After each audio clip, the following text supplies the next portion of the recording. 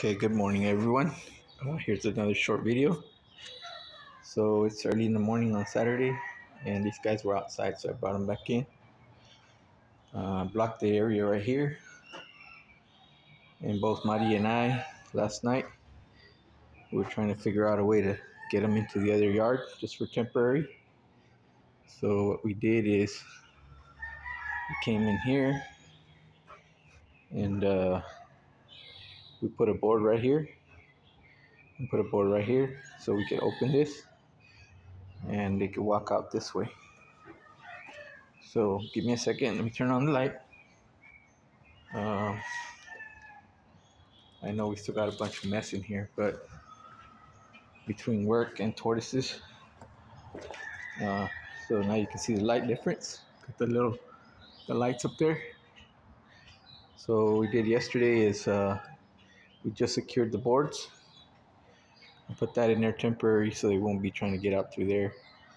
It's got the chain link fence.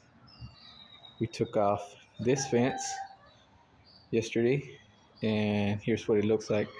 So it it there's the dirt is here. We made like a little ramp so they can ramp here.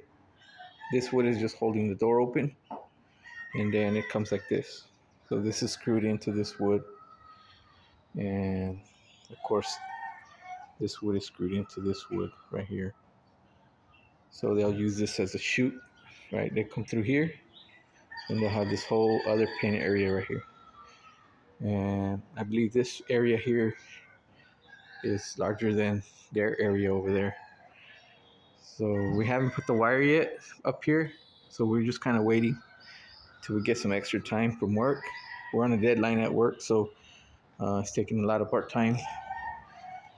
And then they'll go in either here or here to go out. And then, of course, you've seen the yard out there where we put the board around the edges.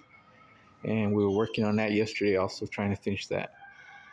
So today will be their first day coming into this area. And then, of course, in the afternoon, we'll bring them all back in through here and shoot them back over there. Uh, today will be the first day we're gonna try this, and like I said, we're not gonna leave them out overnight. So uh, um, we'll let you know what happens. We'll make videos. Thank you for watching this short video.